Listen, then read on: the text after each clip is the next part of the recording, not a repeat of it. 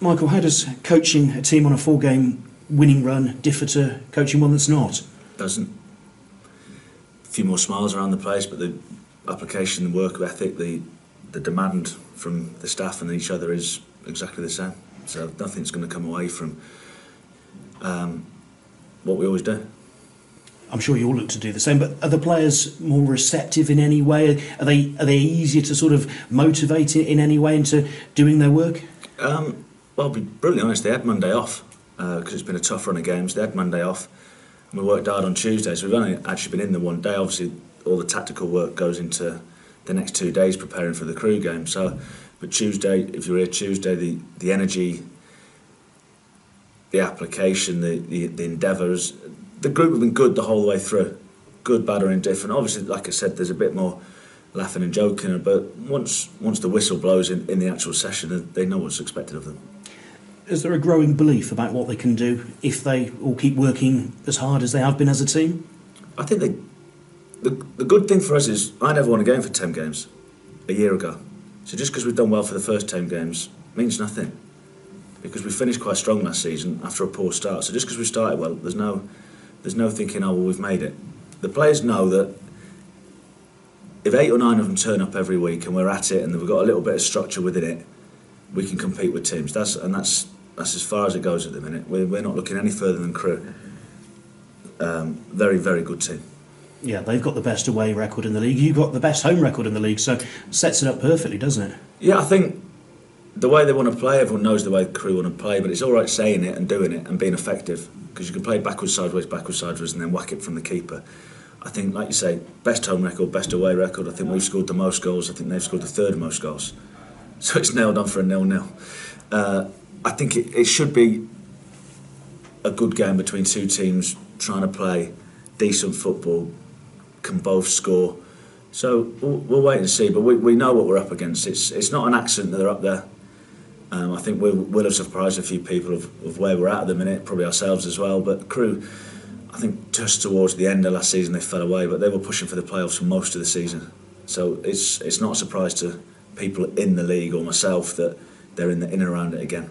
And does their last game against Salford winning 4 1, does that just show exactly what they're capable of? Yeah, I think they, they weren't great in the first 45 minutes, but the second 45 minutes they, they put Salford to the sword. They were, they were excellent. And they can hurt you in so many different ways. You can't identify one person because because of the rotations, because of the interchanging between different people and different positions, they're they're, diff- they're difficult to, to get a grip of, and that's what we have, that's the challenge for us. Because they play the style of football that they do, does that also give you a chance to play your football as well, perhaps a bit more than other team might allow you to? Um, no, because I think they'll they'll be organising a structure. Obviously, David was a, a centre half like myself, so he will be he will look for attention to detail. But no matter what the opposition we come up against, we have to try and pass the ball because it is one of our strengths. So, like I said, we'll probably be coming up against a 4 3 3. I wouldn't imagine they'd come away from that.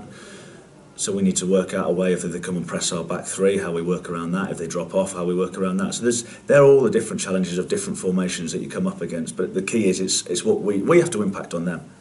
We know what they can do and we know they're a good team, but we are at home and the impetus is on us to step on and, and, and implement our game on them. And the bravery that players have shown at home beginning now hopefully to show it away as well because results are improving there. Rather than home and away, is it just becoming a Cheltenham Town performance now that you're looking for? Well, that's always been the case. That's what we want. Is now the correlation is, has been home and away, but I think even first half Saturday, I don't think we were particularly good. Um, I thought we were good for two phases of play, and we we hit the crossbar and scored. The second half, we were much better. You know, we had quite a few chances to hit them on the break. They're a good team as well. Plymouth, we know that. and They keep the ball really well. Um, and, and, and that was the belief that we, from the second half, that that was a more like a, an hour type performance. And the Salford game again, we felt we could slight, play slightly better. But they're good that you're picking up results and you're still thinking there's more to come. Will Boyle was obviously back in the squad for that game.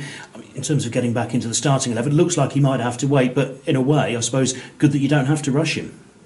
Yeah, that's a, that's a sign of the team doing well. Um, when Boyle got injured, where there was a there wasn't a panic because there was of left side of centre halves. We, we didn't have any, but obviously we went and got Jacob.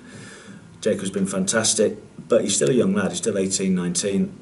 he may have a dip at some point, but at the minute, the way things stand at the minute, Boyle will have to wait. There's there's no doubt about that because Jacob's been uh, brilliant. And for the start of the season, there were changes every week, mostly enforced, but you weren't able to get a settled side. Now, all of a sudden, you've been able to pick the, the same starting 11 for the last three games. Well, it does help. Um, you know, Crewe, uh, they've had a settled team as well. It do, it, and, and it does help with continuity, but it also helps results sometimes factor that in as well. But we, we the difference being that we couldn't have picked the same team, even if we if even if we'd have wanted to, because of injury or suspension or something happening. So, I think uh, I think Rowan's going to train today.